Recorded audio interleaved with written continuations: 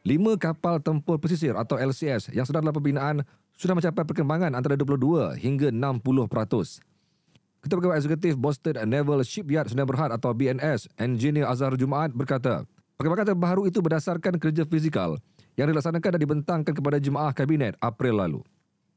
Katanya, kapal pertama telah pun mencapai tahap 60%, diikuti kapal kedua sebanyak 48%, kapal ketiga 43%, kapal keempat 36% dan kapal kelima 22%.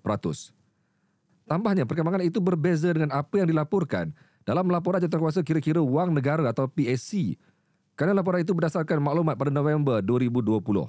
Justru katanya, wujud perbezaan masa sekurang-kurangnya setahun setengah dan sudah tentu peratusan perkembangan pembinaan itu juga berbeza.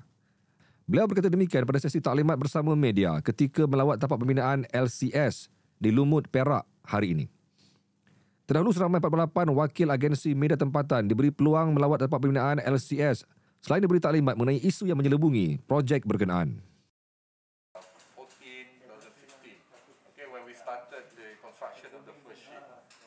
Why we have to, you know, have it ready and uh, made it